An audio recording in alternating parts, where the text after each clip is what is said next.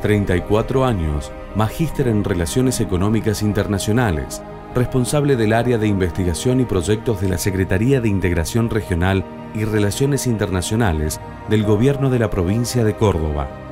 Es un referente provincial en su disciplina y ejerce además la docencia como profesor titular en la Universidad Siglo XXI. Su fuerte compromiso y trabajo se traducen en la promoción de la competitividad y el desarrollo del sector productivo local, favoreciendo su inserción en el mundo. Fundó el Centro de Estudios Internacionales Contemporáneos, SEIC, cuya labor ha sido, mediante investigación aplicada, articular la cooperación internacional y la difusión de conocimiento.